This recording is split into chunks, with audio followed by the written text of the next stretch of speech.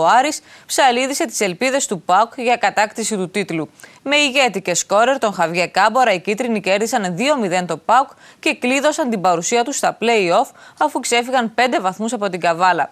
Ο δικέφαλος τελείωσε τον αγώνα με 9 παίκτες λόγω αποβολής, με δεύτερη κίτρινη κάρτα τον Σνάουτσερ και Βιερίνια.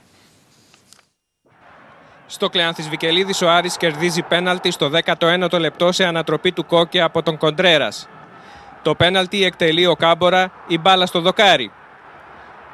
Ο Αργεντινός άσος του Άρη δεν το βάζει κάτω και στο 22ο λεπτό ανοίγει το σκόρ για τους κίτρινους με σούτ έξω από τη μεγάλη περιοχή. Ενώ στο 64 ο Κάμπορα δείχνει και πάλι την κλάση του γράφοντας το τελικό 2-0. Ο Πάοκ θα τελειώσει το παιχνίδι με 9 παίκτες, καθώς αποβλήθηκαν με δεύτερη κίτρινη κάρτα ο Σνάουτσνερ και ο Βιεϊρίνια για φάουλ και οι δύο πάνω στον κάλβο. Bueno, lo primero que voy a decir es que estoy muy feliz, sobre todo por, por la alegría que tiene la gente. Το πρώτο που θέλω να πω είναι ότι είμαι πάρα πολύ χαρούμενο, κυρίω για τη χαρά που προσφέραμε σήμερα στου παδού μα. Es extraordinario verlos festejar, verlos disfrutar. Είναι απίστευτο το συνέστημα όταν το βλέπει έτσι, πώ πανηγυρίζουν, πώ έχουν χαρεί.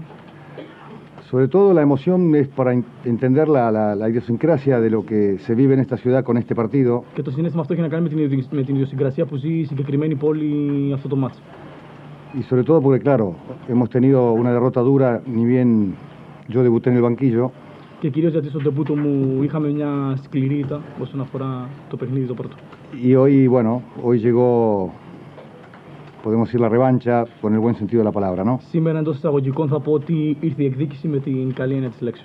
Y digo que la alegría que tenemos todos es por esa felicidad de la gente que hoy vino, o de la gente que incluso no pudo entrar, Επομένως, η χαρά που νιώθουμε έχει να κάνει κυρίως για τη χαρά την οποία δώσαμε στους οπαδούς μας που ήταν μέσα στο γήπεδο, αλλά και αυτούς που δεν κατάφεραν να εξασφαλίσουν εισιτήριο και να είναι κοντά μας. por sobre todas las cosas, más allá de los merecimientos o no que ha tenido el equipo de ganar el partido, o de lo bien que puede haber jugado, Και πέρα το τι μπορούμε να συζητήσουμε για το πόσο άξιζε η ομάδα μου τη συγκεκριμένη τη νίκη και τον τρόπο με τον οποίο αγωνίστηκε, porque lo más importante era la victoria. γιατί είχαμε πει από την αρχή ότι το σημαντικό είναι η νίκη. Um jogo que ficou muito marcado por um cartão amarelo aos 30 segundos, coisa que eu já há muito tempo nu- nunca tinha visto. Ένα παιχνίδι που θεωρώ ότι χαρακτηρίστηκε πάρα πολύ νωρί από μια κίτρινη κάρτα στα 30 δευτερόλεπτα, κάτι που δεν έχω ξαναδεί ποτέ.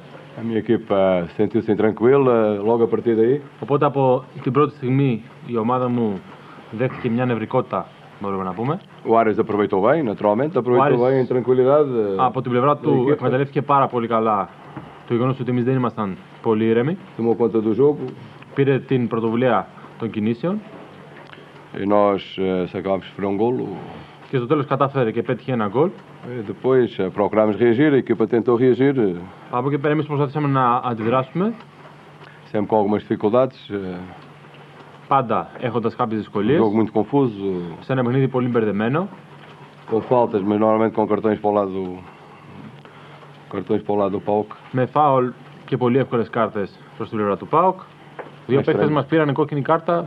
Για ποιο λόγο; Claro que isso não κανένας του justifica, Άρη. não justifica a derrota. O Ares Σίγουρα ganhou, αυτό- parabéns ao Ares, vocês conhecem bem, parabéns ao Δεν- Ares, o Ares foi melhor, Δεν parabéns. δικαιολογεί σε καμία περίπτωση το γεγονός ότι χάσαμε με τον τρόπο που χάσαμε. Γι' αυτό και θε- θέλουμε να δώσουμε συγχαρητήρια στην ομάδα του Άρη. Νομίζω ότι όλοι με ξέρετε πολύ καλά. Δεν πρόκειται ποτέ να κρυστώ πίσω από τη É διαιτησία. que isto para mim o futebol é muito Ότι simples. é- Αυτή έφταξε και τίποτα É άλλο. muito simples. Agora, há coisas que na verdade não, não Απλώς têm sentido. υπάρχουν και πράγματα τα οποία δεν έχουν καμία λογική.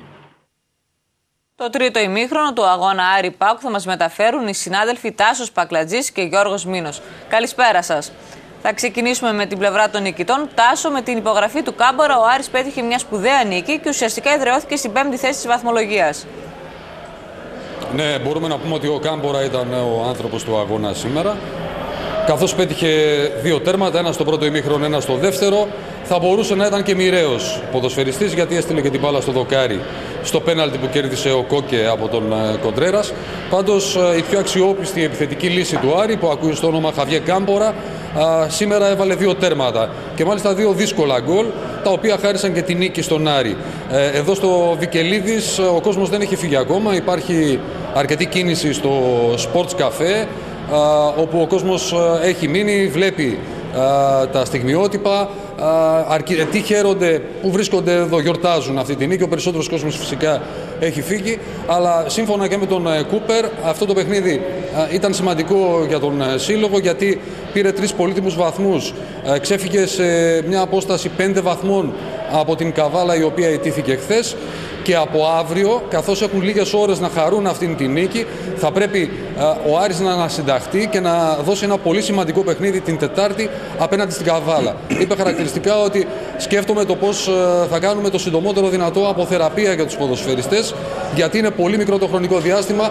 Θα ήθελα να έχω μια εβδομάδα στην διάθεσή μου.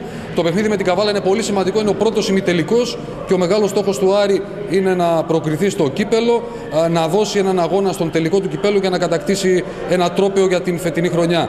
Επίσης όμως είναι και πολύ σημαντικό ότι κατάφερε να πάρει τρεις πολύτιμους βαθμούς γιατί έχει ένα ακόμα παιχνίδι στα τέσσερα που απομένουν εντός, αυτό με το Λεβαδιακό και είχε τρεις αναμετρήσεις μακριά από την Θεσσαλονίκη με Πανιόνιο, Αστέρα Τρίπολης αλλά και Ολυμπιακό τελευταία αγωνιστική. Άρα η βαθμή εντός έδρας πριν από το παιχνίδι ήταν επιβεβλημένη. Πήρε σήμερα τρεις. Θέλει να εκμεταλλευτεί την έδρα και να πάρει ό,τι περισσότερο μπορεί απ' έξω για να διασφαλίσει αυτή την θέση που κρατάει εδώ και αρκετούς μήνες δηλαδή.